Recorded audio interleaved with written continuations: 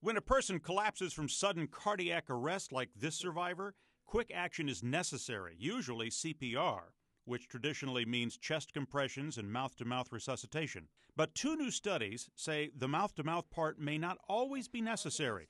Researchers found chest compressions only could be enough to save lives. Both studies, one conducted in Washington state and London and the other in Sweden, involved CPR performed by bystanders who were coached by 911 dispatchers.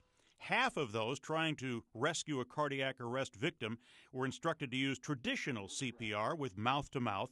The other half just used chest compressions. Researchers found that approximately the same number of patients in each of the two CPR groups survived. Previous research has shown people are more likely to attempt CPR if they don't have to perform mouth to mouth resuscitation.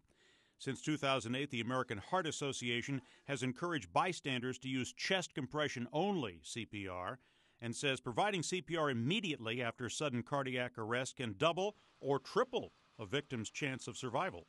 For today's Health Minute, I'm Chuck Roberts.